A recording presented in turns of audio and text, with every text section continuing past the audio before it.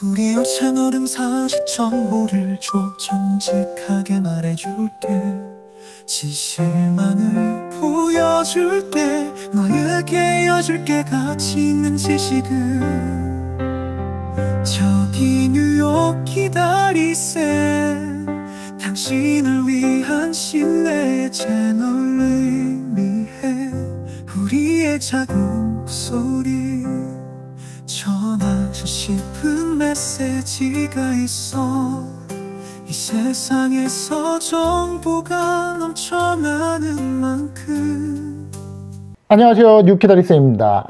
세계 각국에서 살고 계시는 이민자 여러분, 그리고 미국에서 살고 계시는 이민자 여러분. 아마 여러분들께서는 이런 생각을 가지고 계실 겁니다. 나는 한국 사람이 참 좋아. 나는 한국 사람이 참 그리워. 나는 한국 사람이 너무 많은 게 싫어. 차라리 한국 사람이 없는 데서 조용히 살고 싶어. 외국 사람들하고. 이런 말씀들을 하시는 경우가 아마 대부분이실 겁니다. 그래서 처음에 어느 나라를 가던 이민을 갔을 때 낯선 땅에서 이민자들과 빨리 동화를 하는 게 그 나라의 언어를 빨리 배운다고 생각을 하시면서 일부러 한국 분들을 피하시는 경우에 이민자분들도 계시고요. 우리 한국 사람들은 외국인들의 눈에 비춰서 보이는 모습 속에서는 정적인 민족이고 정을 많이 가지고 있는 민족이라는 평을 받습니다. 그런데 이민 생활을 하다 보면 한국 분들로 인해서 같은 우리 한국 사람으로 인해서 많은 도움을 받으면서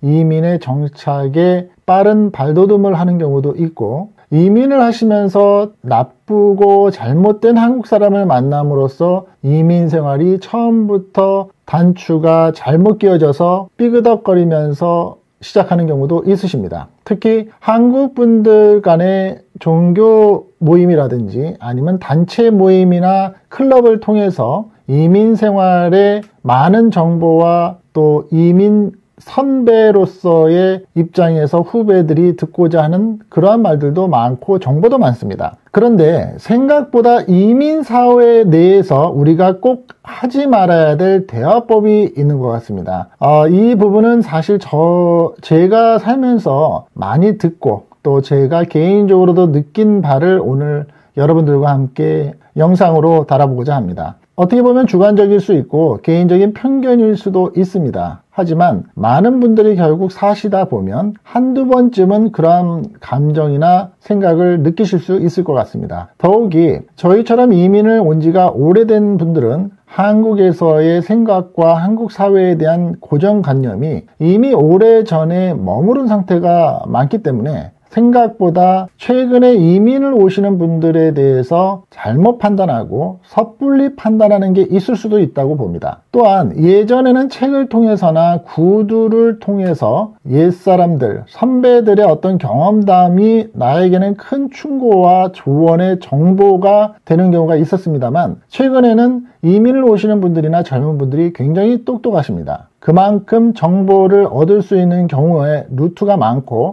인터넷이 발전되다 보니까 섣불리 엉터리의 정보나 또한 대화의 내용이 그들한테는 얼굴을 찌푸리는 일이 있을 수도 있다라고 생각이 됩니다. 자, 요지는 뭐냐면 오늘 드리고자 하는 말씀은 뭐냐면 이민자들 간에 대화를 할 때 이 점에 대해서는 꼭 대화법에 주의를 하거나 꼭 생각을 해야지만 되는 그러한 대화법이라고 제가 판단을 해서 오늘 영상에서 한번 여러분들에게 말씀을 드리고자 합니다. 자, 이민을 예전에 왔던 분들은 낯선 땅에 공항에 도착을 할 때부터 모든 게 낯설기 때문에 두려움과 하나라도 더 얻고 싶고 실패를 거듭하는 일을 또한 반복하고 싶지 않은 마음에서 느끼는 감정이 굉장히 급박하고 각박했습니다. 따라서 많은 분들한테 도움을 받고자 했고 도움을 받는 거에 대해서 고마워하면서 어, 또한 도움이 그들한테도 정말 삶에 있어서 도움이 되는 그러한 분위기가 많았죠. 그런데 살면서 이민자들이 들어오는 최근의 분들은 그러한 도움을 받고자 원하지 않는 분들도 많고 또 그들이 더 똑똑하다고 느끼는 경우가 많기 때문에 대화법이 중요하다고 생각합니다. 예를 들어서 말씀을 드리겠습니다. 대부분의 이민을 먼저 오신 분들은 낯선 땅에서 살고 계시면서 한국 분들이 많지 않은 곳에 이민을 오시거나 주재원으로 오신 분들이 옆집이나 주변에 종교 생활로 들어오시게 되면 굉장히 반갑습니다. 그래서 그들한테 뭔가를 하나라도 더 주고 싶고 내 집에 있는 쌀이 그들한테 맛있는 밥이 된다면 밥을 한번 해주고 싶고 또 처음에 차를 구하지 못해서 라이드도 해주고 내가 선뜻 먼저 제안을 하기도 합니다. 그리고 미국에서는 또 외국에서는 쉽게 할 수 있는 바베큐라든지 아니면 주변 근처에 비치라든지 아니면은 근처에 산이라든지 자유롭게 놀러 갈 수 있을 때 제안을 해서 같이 가자라고 제안을 하기도 합니다. 이민을 먼저 와서 살고 있는 분들의 입장에서는 한국 사람들이 그립고 반갑고 내 형제와 내 가족처럼 느껴지는 순간의 감정 때문에 그런 제안을 합니다. 그래서 상대방이 묻지도 않고 또 궁금해하면서 질문을 하지도 않은데 불구하고 내 딴에는 먼저 와 있던 선배라고 생각을 하면서 많은 정보를 주고 많은 얘기를 해주고 싶어 합니다. 운전면허는 어떻게 따는 게 좋고 어딜 가면 줄을 서지 않고 빨리 딸 수 있고 어딜 가면 좋은 담당자를 만나서 쉽게 일이 풀릴 수 있다. 집에 렌트를 구할 때에는 이런 지역의 아파트가 좋기 때문에 유틸리티 비용이 적게 나오고 전망도 좋다. 차를 살 때에는 이런 딜러를 가지 말고 여기 딜러를 가서 사게 되면 차를 참 좋게 적당하게 살 수 있다. 뭐 이런 저러한 삶에 있어서 제일 기본적인 정보들을 주고자 합니다. 저 또한 마찬가지였습니다. 저희가 하는 직업도 관계성이 있지만 어, 많은 주변 분들이 제 주변에 있으면서 그들을 도와주고 싶었고 그들이 나처럼 내가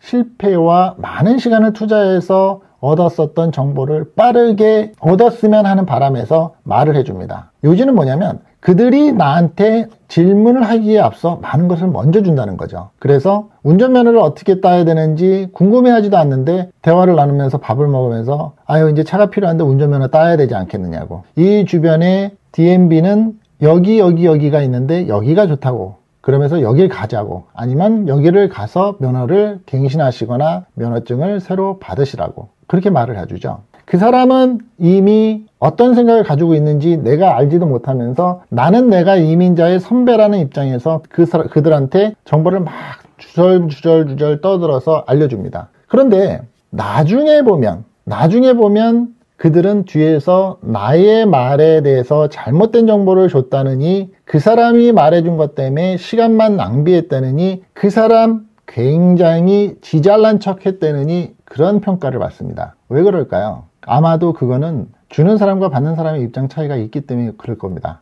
분명한 거죠. 그거는. 주는 사람 입장에서는 저 사람이 안타까웠게 그리고 안쓰러우니까 같은 한국 사람이고 편했으면 좋겠고 그래서 내가 알고 있는 지식을 말해준다고 생각해서 다 말해주는데 그 사람은 이미 알고 있거든요. 인터넷을 통해서나 이미 정보를 듣고 왔거든요. 그런데 그 사람이 보기에는 지잘난 척하고 자기가 뭔데 이런 생각을 가지고 있는 겁니다. 또 한편으로는 그렇게 생각을 하지 않은 새로 들어온 이민자들 입장에서는 지금 그거보다 더 급한 불이 있는데 저 사람은 내가 궁금해하지도 않았는데 말을 하고 있다. 그렇기 때문에 듣는 둥 마는 둥 그렇게 하는 경우도 있을 수 있고요. 또 한편으로는 음, 외국 생활을 하시면서 다들 느끼시겠지만 자동차 딜러나 부동산에 대해서는 섣불리 소개를 해드리고 나서 좋은 소리 듣기가 쉽지 않습니다. 그게 어, 아시겠지만 뭐 대부분은 많이 아실 겁니다. 자동차 부분도 각 딜러가 직영 체제가 아니고 한국처럼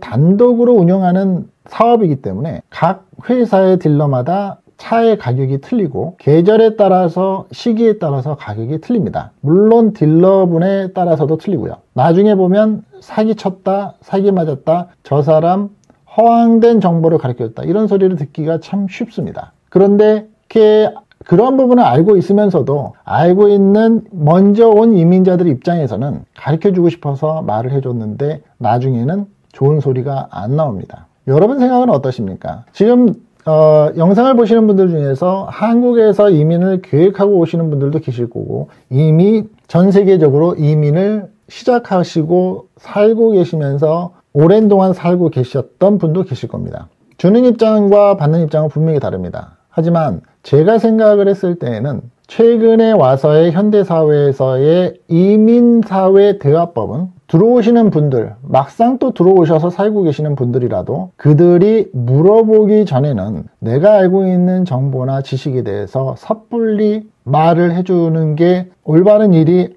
아니다라는 생각이 들고 있습니다. 예전에 비해서 젊은 사람들이 너무 똑똑하고요. 이민 오시는 분들이 교육 수준이 높기 때문입니다. 모든 대화법이 그렇지만 이민사회뿐만이 아니라 상대가 묻기 전에 내가 대답을 해주거나 내가 먼저 말을 해준다 그래서 고마워하는 시대나 고마워하는 인간관계는 더 이상 아닙니다. 예전에 못 살았을 때의 얘기고 나라가 작았을 때의 얘기겠죠. 최근에 와서는 이민사회에서 살면서 주변에 한국 분들이 그립더라도 또 한국 분들이 너무 많다고 하더라도 또 한국 분들 때문에 치이고 사신다고 하더라도 공통적으로 여러분들이 한번 생각을 해보셔야 될 이민자들 간의 대화법에 있어서는 제일 중요한 대화법이 이 부분이 아닌가 싶습니다. 대화를 할 때 상대가 묻기 전에 먼저 나서서 얘기해 주지 말아라. 그렇다고 해서 결국 끝에 가서는 좋은 일이 별로 없다. 그들이 고마워하는 것은 순간일 수도 있고 고마워하지 않는 경우가 더 많습니다. 그리고 나중에 가서는 제가 드렸었던 내가 그 사람한테 주었던 정보가 제, 내가 주어서 자기가 좋은 케이스나 자기가 좋은 일로 끝났다고 생각하지는 않고 자기가 잘났기 때문에 끝났다라고 자기가 잘났기 때문에 좋은 결실을 얻었다고 생각하는 게 대부분입니다. 나는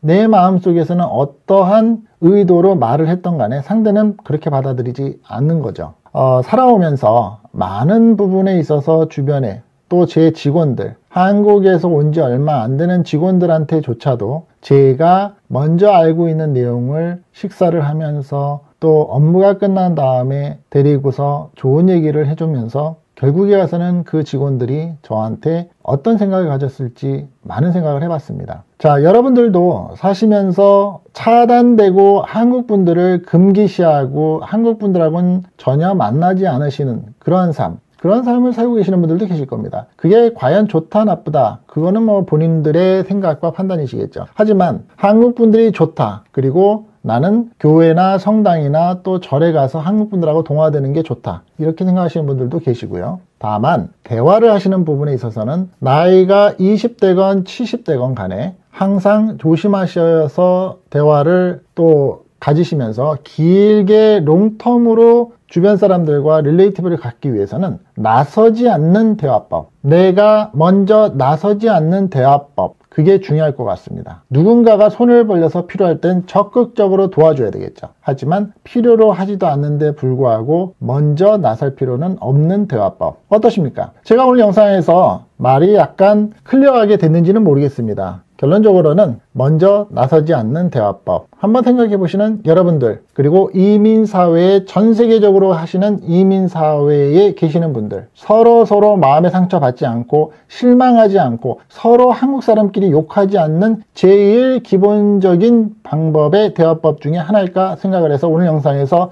여러분들과 함께 말씀을 나눠봤습니다. 여러분들 영상 내용이 좋으셨으면 오른쪽에 아래에 구독 버튼 꼭 눌러주시고요. 이쪽 아래에 좋아요 버튼도 부탁드리겠습니다. 다음 영상에서는 더 좋은 주제로 여러분들과 함께 공유된 시간을 갖도록 하겠습니다. 끝까지 시청해주셔서 감사합니다. 뉴욕 캐나리스님이었습니다.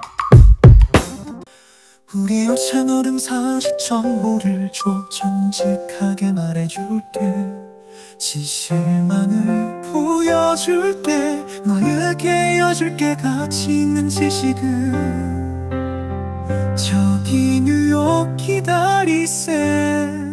당신을 위한 신뢰의 채널을 위해. 우리의 작은 소리. 전하고 싶은 메시지가 있어. 이 세상에서 정보가 넘쳐